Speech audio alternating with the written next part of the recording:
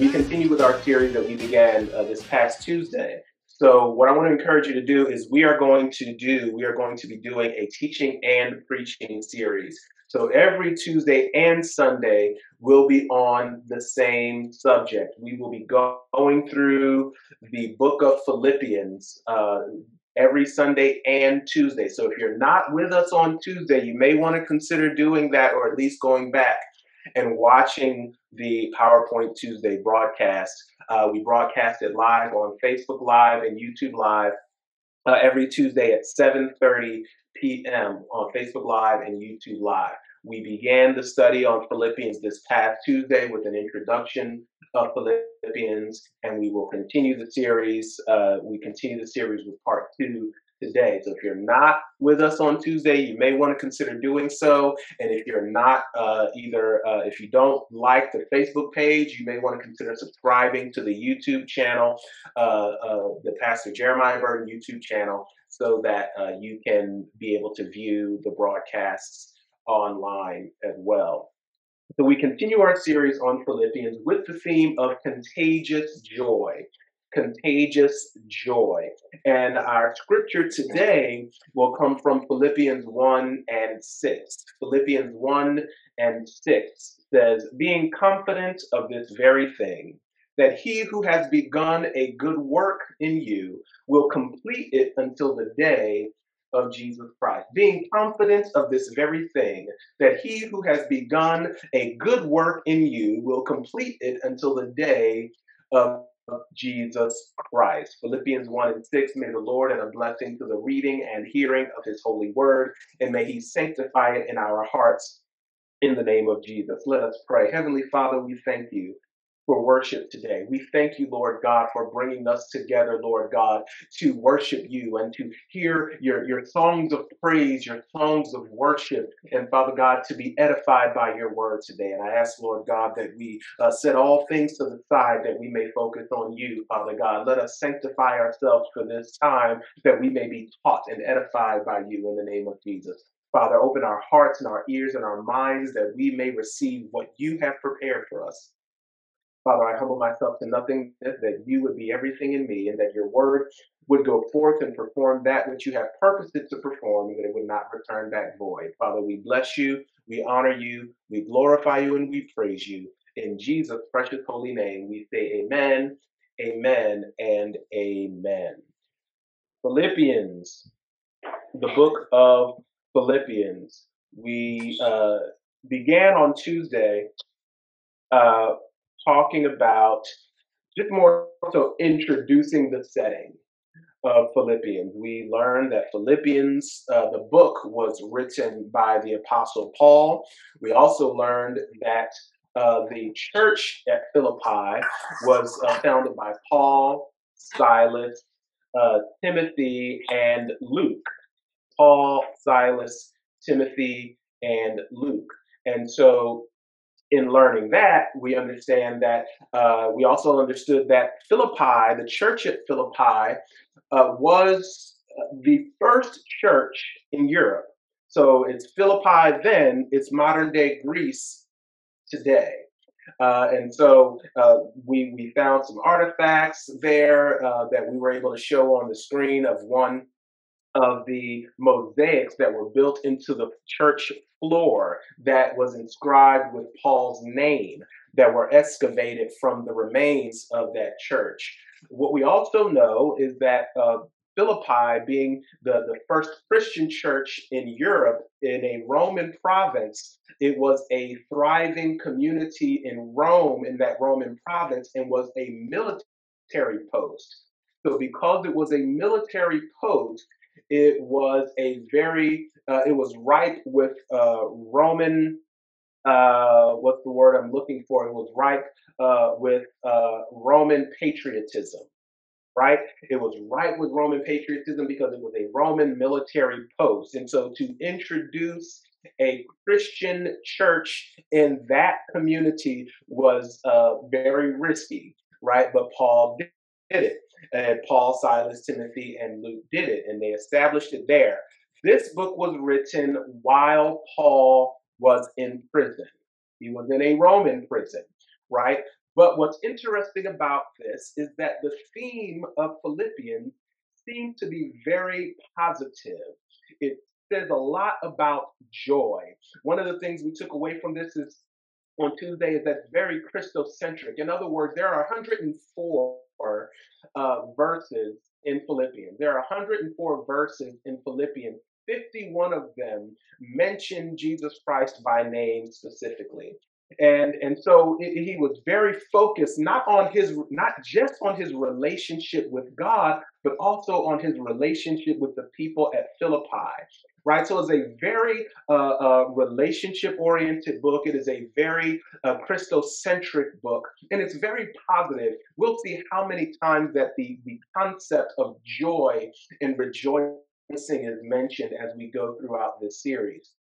Also, uh, one thing to take note with Philippians is unlike many of the other epistles, there is no real specific issue that Paul is trying to solve for or address, right? Uh, in, in the book of Galatians, He's addressing the fact that they, they started out okay, but so what's, they were very quickly deceived by people that were trying to convince them of the, the, the need to uh, continue on with the law and circumcision. Uh, the same applied to the, the, the, Roman church. The same applied, and the issue at the Corinthian church was their moral depravity that they brought in, mixing uh, Gentile rituals in with uh, in with the the issues of uh, uh, Christianity, and so there was uh, there were a lot of issues that Paul addressed that were specific to those other churches. However, in uh, Philippians, he wasn't addressing a specific issue because the Philippian church seemed to be doing okay. They seemed to be following a good path and a good pattern. Uh, and so there was not a specific issue, but he was really uh, encouraging them to keep doing what they were doing with a message of joy and gratefulness for their generosity toward him. So if you missed Tuesday, that's the long and the short of it, right? That's uh, that's the best I can do in the shortest period of time to let you know about uh, the, the background of the Philippian church. But what we see here is that Paul, we can see in the very first few verses, really shares kind of uh, uh, the Philippian church as a model church, right? When you compare it with what he was dealing with at Galatia, what he was dealing with at Corinth, what he was dealing with uh, at, at the church in Rome, he was he was fighting a lot of serious battles and contending with a lot of serious things within the church, let alone without the church. Philipp, uh, the, the Philippian church really took a lot of weight off of his shoulders because they were consistent. Listen to what he says in verses 3 through 5. In, in kind of describing them as somewhat of a model church, I thank my God upon every remembrance of you, always in every prayer of mine, making requests for you all with joy for your fellowship in the gospel from the first day until now. So Paul is just happy and he's grateful for their consistency and for their support of him in the ministry. He says to them, Every prayer of mine and making requests for you all with joy, meaning he is happy to pray for the Philippian church. He looks forward uh, to pray for the Philippian church. Well, Pastor, wouldn't anybody be happy to pray for someone? Well, sometimes there are prayers we don't want to pray, right? We pray pray them because they're necessary, wants to pray to get their child out of jail. That's not a prayer I want to pray, but it's a necessary prayer. Who wants to pray uh, that, that uh, somebody gets themselves out of a, a toxic situation or a time that we, we don't want them to be in that situation in the first place, but we pray it because that's the reality. Uh, in the same way, Paul probably didn't want to write these certain letters to the Corinthian church. He probably didn't want to write certain letters to the Galatian church, but they were necessary because they were issues he needed to address. In the case of the Philippian church, the, the theme here is very positive. So it sounds like he was looking forward to and happy about writing this letter and praying these prayers. And he's grateful for their consistency and their support in the ministry. And then we get to the, the, the text, which is verse 6. And, and it, says, being confident in this very thing, he who has begun a good work in you will complete it until the day of Jesus Christ. And so what we see here is Paul expressing confidence in what the, the Philippian church is doing, right? Uh, but not only that, he justifies that confidence. Paul isn't expressing blind confidence here. He starts to explain why he's confident that God will perfect this work. He says, just as it is right for me to think this of you all, because I have you in my heart, inasmuch both in my chains and in the defense and confirmation of the gospel, you all are partakers with me of grace. For God is my witness how greatly I long for you all with the affection of Jesus Christ. So Paul is confident in what God is going to do in the Philippian church, but he's he is he expresses the reason for that confidence, and that is because of what the Philippian church has done with what God began in them. God began a good work in them, and they have continued to take that work and engage in it, right? He says that basically they have shown themselves supportive in his imprisonment. He says, You are with me in my bonds. In other words, they, they reached out to Paul. They, they sent for they sent gifts to Paul. They sent money to Paul. They wanted to make sure Paul was okay in prison. They looked out for Paul, right? And and so they joined him in his imprisonment in, in order to support him in that way.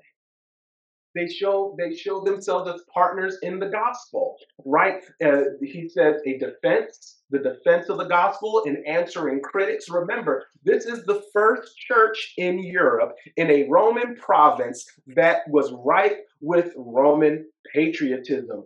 So you are bringing in a rebel religion, both on the Jewish side and the Roman side, into a Roman patriotic society. You are you have to be prepared to answer critics. And this church could have easily leaned on Paul to do all the work of answering these critics, but they partnered with Paul to be able to answer those critics.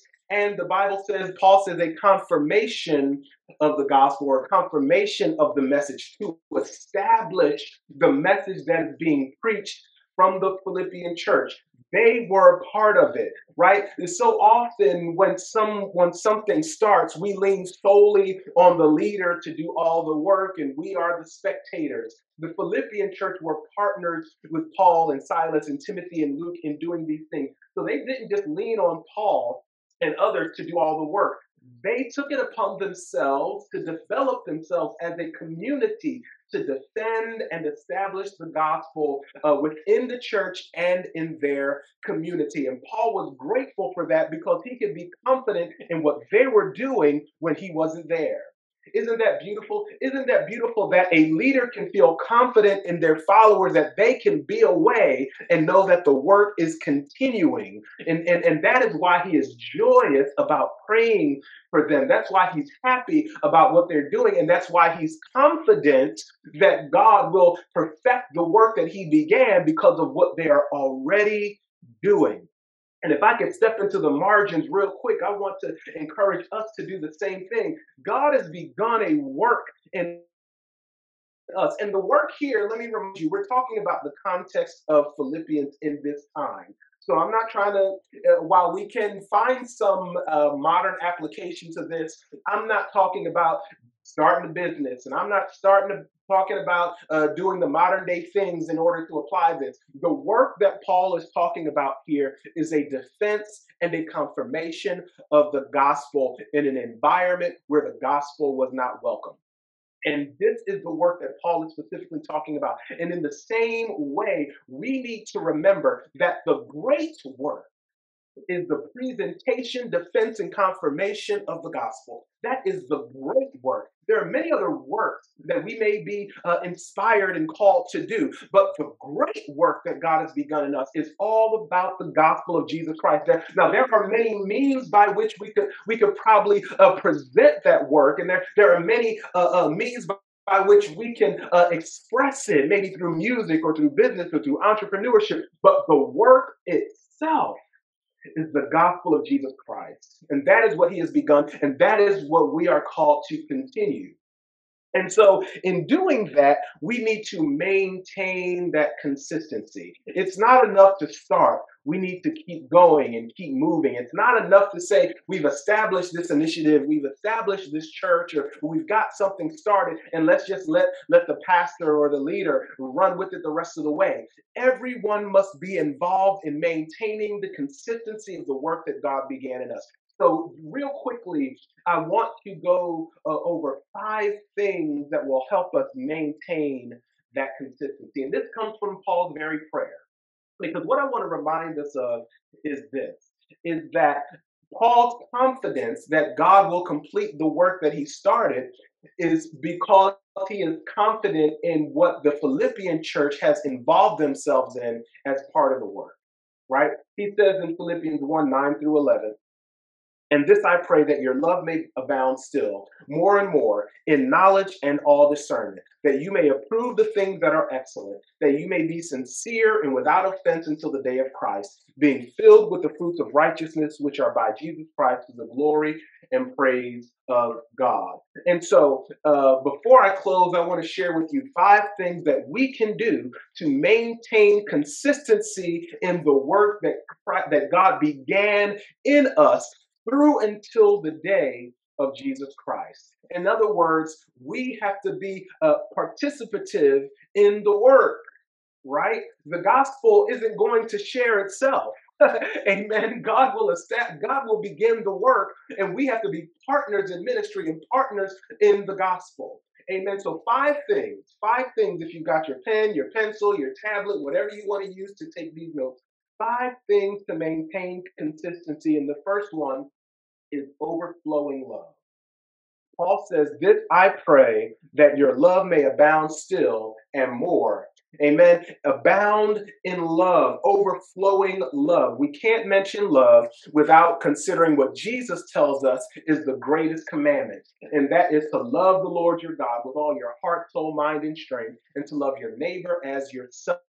On these two commandments hang all the law and the prophets. In other words, we can't do anything else for God until we first love Him and our fellow man. As a matter of fact, nothing that we say in the rest of this list can be done unless we love God with all of our faculties, with our heart, soul, mind, and strength, and our neighbor as ourselves. We can't serve God and we can't serve our brother unless we love them supremely. So he prays that they have overflowing love. But then he goes on to say, uh, and more in knowledge. In other words, growing knowledge. Now, the, the, the Greek word here is epignosis. Epignosis. Now, just a real quick uh, uh, uh, Greek language lesson. Gnosis is the root word. Gnosis is the root word, and it means knowledge right? Uh, but epi, epi is the prefix. Epignosis, in other words, is not just knowledge, but it is active involvement in acquiring knowledge. So it takes knowledge to a different level. It's not just having knowledge, but getting knowledge, right? It's not just knowing stuff, but knowing things in a substantive fashion and continuing to learn, active learning, active acquisition of knowledge. And so uh, he, he wants us to grow in knowledge and it highlights the relationship of the learning to the object of his or her knowledge. In other words, the focus on this knowledge is the person by which we want to know. And who is that person in this context? It is Jesus Christ. It is God. And it is the gospel that we must be actively learning. Uh, God is omnipotent, omnipresent, omniscient. And he, he, he, there is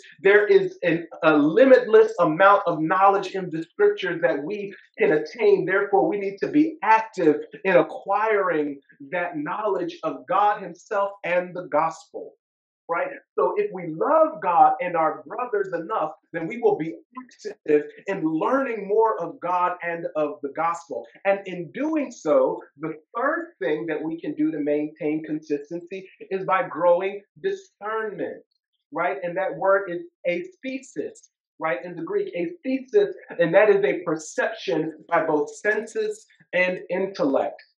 In other words, sometimes we use discernment in a more emotional sense, and that we have an instinct or an unction that just makes us feel like something isn't right. And while that's true, we must also add intellect to that, which means we can't have growing discernment unless we've already had growing knowledge, because our knowledge gives us a framework by which to compare what we are discerning right? And so in this context, it means moral and ethical discernment in those matters. We are able to identify the difference between good and bad, right and wrong, right? Because it is our growing knowledge that helps us be able to discern the difference when we are looking around things in this world and we have to make a decision of what is the right and wrong thing to do. It is that knowledge, that growing knowledge that gives us that growing discernment. So, number one, one, we are loving God and supremely. Number two, we are actively growing